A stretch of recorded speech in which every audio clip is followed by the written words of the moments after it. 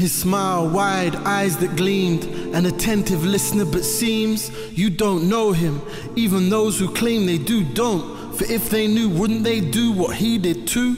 A dedicated servant to the Lord of the worlds. His ankles swirled in deep converse in the depths of the night, whilst it was like even the stars were asleep. He changed lives just by his speech.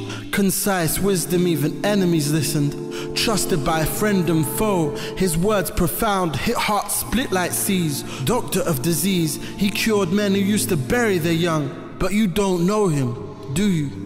Oh, how I wish I could follow in his steps, but I'm not fit to mend his socks, let alone walk in his shoes. He cried for his enemies, turned the cheek to ordered from the divine. Heart so soft, but had the strongest spine. How he longed for mankind to attain felicity.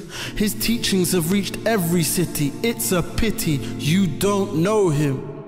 He said best men were those who were best to their wives. He never laid a hand on a woman or a child. He all the while was a messenger and a slave, sent to perfect souls. It's time you knew, not just his name, but what he taught. Not many really embody what he brought. He was kind beyond what I can describe. He united nations without the United Nations.